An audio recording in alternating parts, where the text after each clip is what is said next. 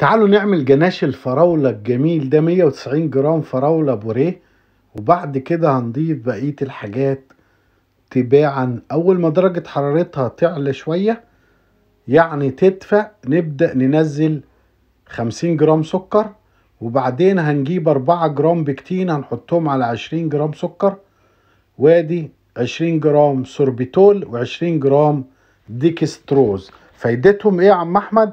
انه بيطولوا الصلاحية وبيخلوه الحاجة طعمها أقوى وال flavor يعيش 3 شهور. الأربعة جرام بكتين بقلبهم مع 20 جرام سكر وهنزل بيهم لما يبدأ العصير بتاعي يغلي.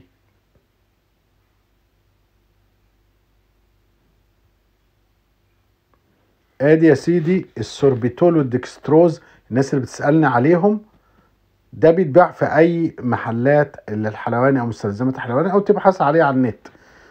بيخلي الحشوة طرية لفترة طويلة وما تنشفش. آدي أول ما غلي بنزل بالبكتين اللي متقلب في السكر لأنه نزلت بالبكتين على طول يعمل لمس أو يكلكع. زي ما أنتم شايفين يغلي لحد 105 106 درجة مئوية مهمة جدا جدا جدا. غير كده عمره ما هيربط أو يديلك الجيلينج ال ال الهلامية.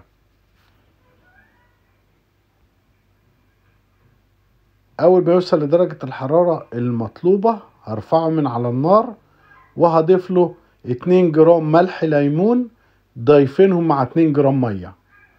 خلاص ده بالملح الليمون مع المية. وهرفعه من على النار أهم حاجة أرفعه من على النار وأقلبه كويس جدا. وبعد كده هصبه في ال container وأسيبه لتاني يوم أو على الأقل ست ساعات عشان أشتغل بيه.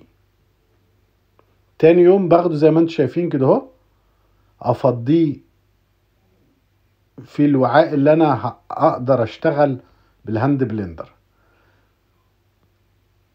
آدي ال hand blender أضربه يبقى معايا ناعم وكريمي وبعد كده هحشي بيه البونبون وأقدر أحشي بيه كمان ال macarons والبسكت اللي أنت عاوزه كمان.